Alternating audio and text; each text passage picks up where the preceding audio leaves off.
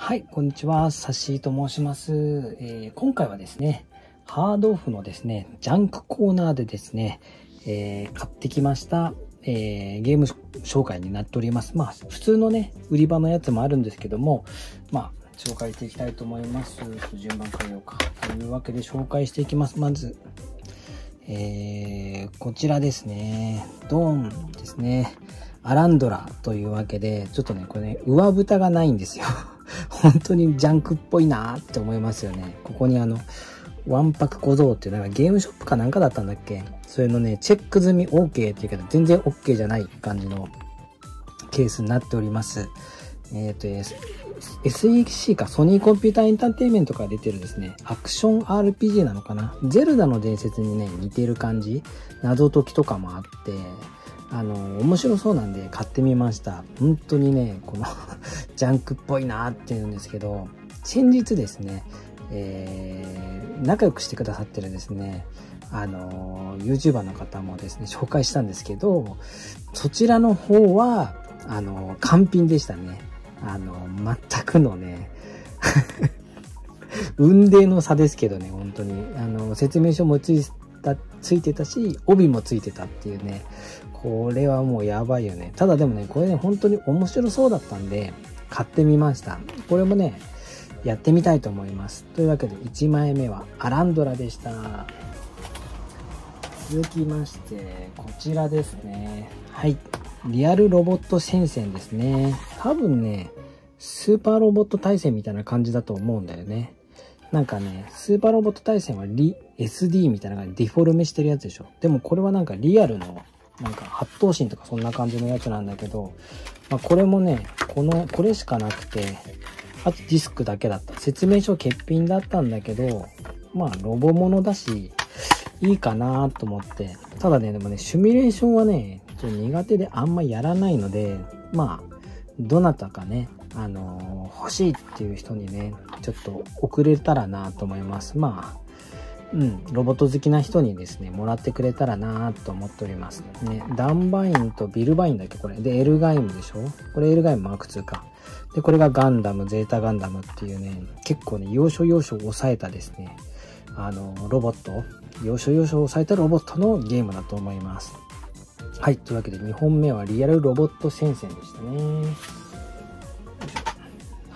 えー、っと、3枚目がこちらですね。これもジャンクで100円だったんですけど、ファイナルファンタジーのライトニングリターンですね。ファイナルファンタジー13はですね、3個出てるのかな ?1 と2とこのライトニングリターンということで、これでね、全部揃いました。このね、ジャケット見るだけでもね、本当に大満足だよね。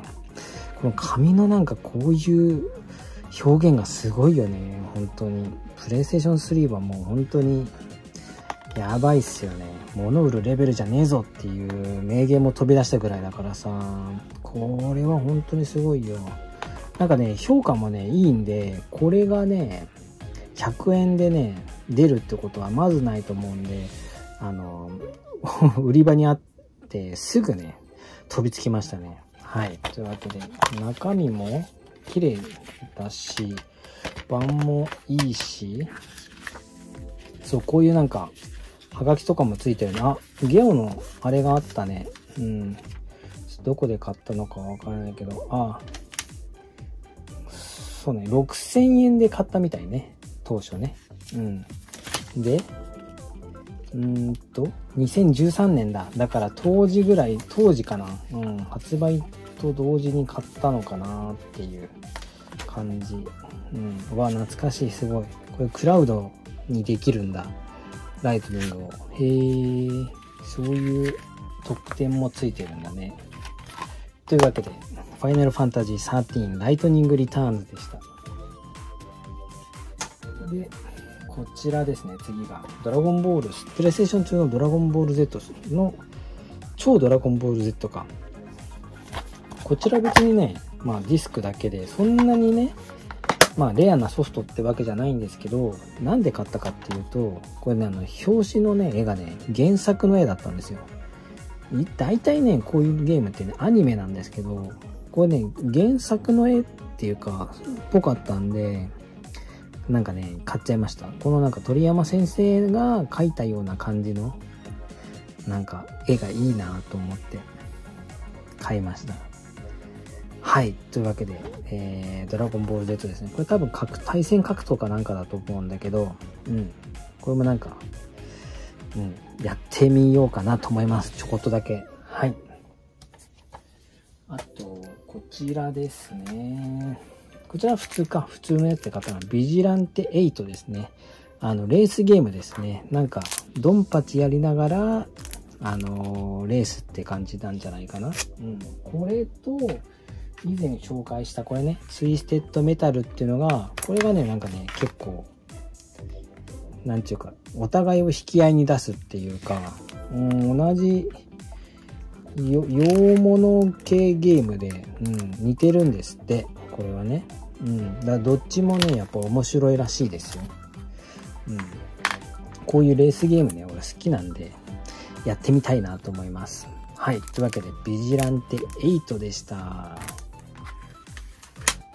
で、えー、っと、次がこれか。これですね。はい。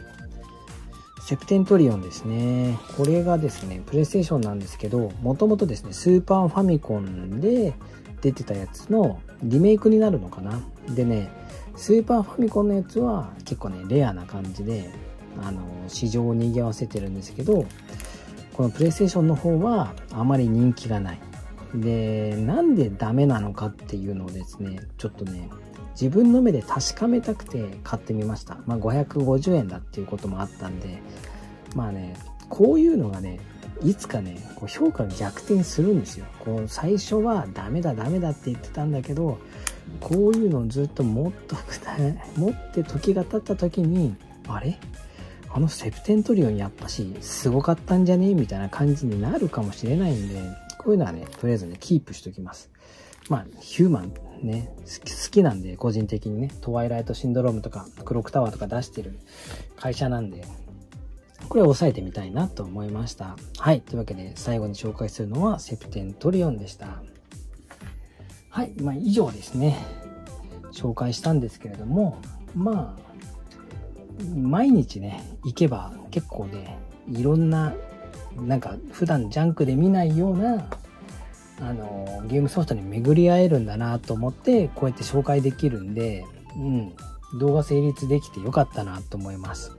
はい、この動画がですね、面白いと思ってくださいましたら、チャンネル、高評価、まあ、あんまだなと思ったらチャンネル低評価でもいいんで、あの、ぜひ、あの、リアクションしてみてください。で、あとですね、あの、コメントなんかもいただいたり、チャンネル登録とかもしていただけると嬉しいです。是非よろしくお願いいたします。バイバイ。